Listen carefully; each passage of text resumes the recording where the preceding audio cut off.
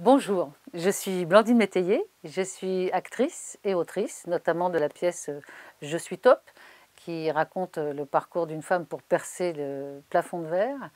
Et j'ai découvert le magazine Femmes ici et ailleurs en début d'année. Voilà, ça c'est le premier numéro que, que j'ai reçu.